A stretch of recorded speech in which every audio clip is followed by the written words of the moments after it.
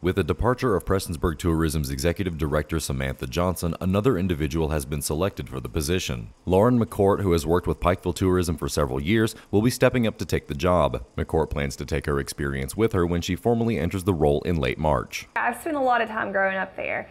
I'm originally from Paintsville, that area, but spent a lot of time in Prestonsburg as well. And now that I have lived in Pikeville, I have like a pretty good knowledge of the area, and so I'm very excited to, to get started. Prestonsburg means so much to me.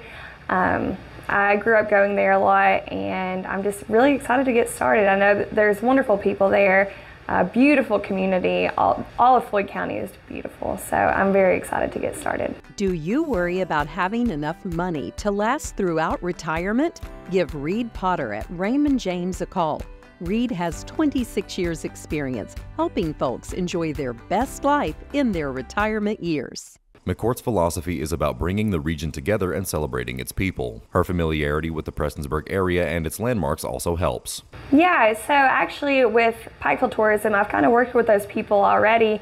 Um, I think we're better together as a region than we are apart. So one of my thing, one of my main things is is like growing not just Pikeville or not just Prestonsburg, but the whole region. Because when people come and visit, they don't know the county lines. They don't know where the like. They just want to have things to do and to meet kind people.